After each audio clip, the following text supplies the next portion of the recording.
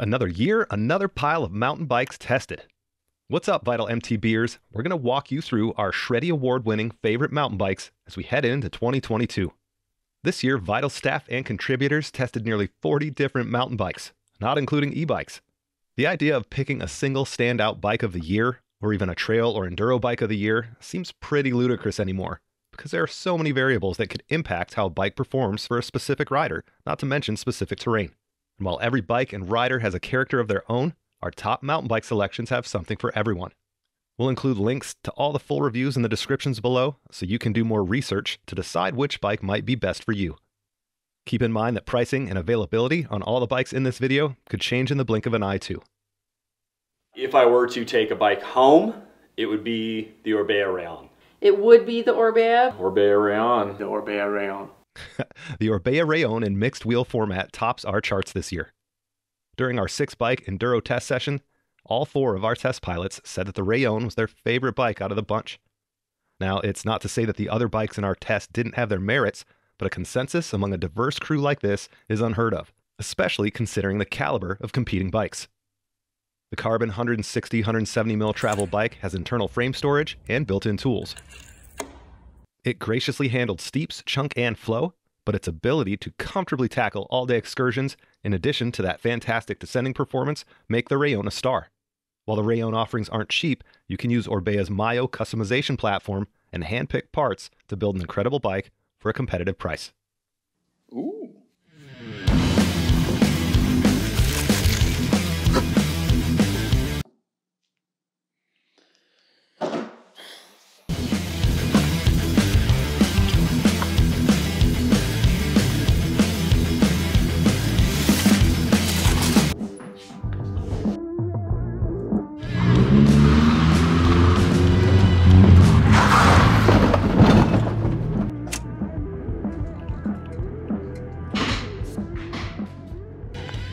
Despite our decision to use a somewhat sketchy fourth party shipper, the aluminum Privateer 141 landed in our hands as a custom build project. We couldn't wait to see how this stout trail bike performed. Too long didn't read? The direct to consumer 141mm Travel 29er was a ripper, has a great price point, and is a bike we would wholeheartedly recommend to riders looking for a mid travel bike that's ready for plenty of miles. This no frills trail bike won't be the lightest out there with a 9 pound frame weight, but it hides the heft well as it motors up the climbs and is a confident, nimble descender. Even though we went with a $1,759 frame only and a custom build, the complete bike offerings from Privateer feature the right parts in the right places for those with a budget in the mid $4,000 range. Let's flip the budget upside down. At $2,499, the Polygon Siskiu T8 is a well spec'd, full suspension bike for both experienced or beginner riders looking to rally the trails or the bike parks. During our $2,500 mountain bike test session, the Siskiu was a standout thanks to its Fox suspension, Shimano SLX Deore drivetrain components, and modern geometry. It smoked the other bikes in our test on spec alone and backed it up with solid performance on the trail. The stock 2.6 inch wide tires weren't a favorite of our testers, but for daily driving on local rides and some weekend getaways to bigger terrain, the price point is bang on. The bike looks great, and the Polygon Siskiu T8 survived the ludicrous destruction attempts of our tester Trixie. Let's reduce the travel a bit, go carbon, and roll into another highlight of our bike review queue. Niner's Jet 9 RDO shouldn't have surprised us, but it did.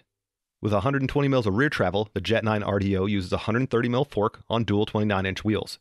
Our $6,200 size large test bike weighed in at 30 pounds flat, and other build prices start around $4,200. Niner frames feature a lifetime warranty and use Enduro black oxide pivot bearings. On the trail, the CVA suspension and modern geometry help the Jet 9 RDO feel planted, balanced, and predictable. With a thoughtful build kit, durable construction, easily serviceable, and well performing CBF suspension design, the aluminum 138 mil travel Canfield Tilt was a standout 29er trail bike for our testers this year.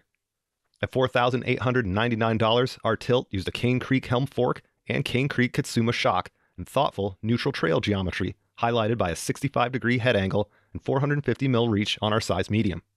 With build kits limited to only a SRAM GX drivetrain, not a bummer for us, riders can choose wheels and suspension components to customize their rides. As one of our testers put it, Canfield nailed it with a nice blend of workhorse and a smattering of racehorse. Fully committed to the mixed wheel size, the newest Santa Cruz Bronson may be one of the most fun VPP bikes we've ridden. The bike just does it all. Ups, down, flow, chunk. The 150, 160 mil travel full carbon whip is laced with a modern but nimble geometry, not too long, not too short, 64.5 degree head angle in the low setting, free lifetime bearing replacement, and a lifetime warranty. Alloy purists will have to look elsewhere for now, as the bike is only available in carbon. While we were graced with the high end AXS X01 reserve model at nearly $10,000, if we were to walk into a bike shop and plunk down our own money, it would undoubtedly be for the Bronson S at $59.49, which retains that lifetime warranty and bearing replacement. There's local dealer support, SRAM's proven GX Eagle drivetrain, and Fox's 36 Performance fork, which can be upgraded with a Grip 2 damper later down the line. When Specialized introduced the revised Stumpjumper Evo in carbon a year ago, it ticked nearly all the boxes for a do it all long travel trail bike. The only thing missing was a metal version in the lineup. A year later, the Stumpjumper Evo Elite alloy found its way to our Arizona tester for some smashing, and despite the large stature of our 6'4, 215 pound pilot, the Evo held its own. Modern, highly adjustable geometry that includes an angle adjust headset and SWAT frame storage are highlights of the frame design. Fox factory suspension and a SRAM GX drivetrain kept the 150 160 mil travel bike moving through rough terrain quite happily. In the harshest of sharp desert environments, the supplied grid trail casing tires saw some carnage with our big tester, and he had to beef up to a gravity casing. But overall, the impression of the new alloy Stumpjumper Evo is nothing but praise and noteworthy performance on trail. Even hardtails get love on Vital, and Canyon's Stoic 4 is a trail ready machine that we really loved. At just $19.99, the Stoic matches the same in house durability certification as Canyon's Enduro bikes. It's robust, with sensible but aggressive geometry, and a great 140mm RockShox Pike Select fork up front. We appreciated the 175mm dropper seat post on our size medium, and the SRAM Guide T brakes were powerful with a 200mm front rotor. The SRAM NX Eagle drivetrain has a big range and actually survived our nearly year long test. If you're a trail rider looking to expand your quiver, or someone looking to upgrade an older hardtail and ride more seriously, the Stoic 4 should be at the top of your list.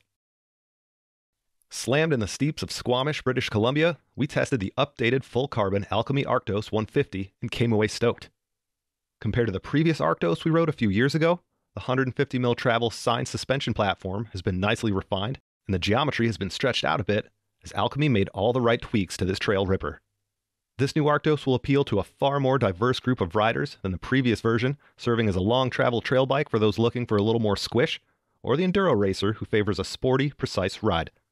Our test bike with Fox factory suspension and SRAM X01 drivetrain came in at $73.99, with sizes medium, large, and XL available. If you can get your mitts on one, the YT Jeffsy Core 3 is a big hitting trail 29er with a value that's hard to beat. Handing over $4,199 to the direct to consumer brand will get you a carbon frame, SRAM GX Eagle drivetrain, and Fox Performance Elite suspension.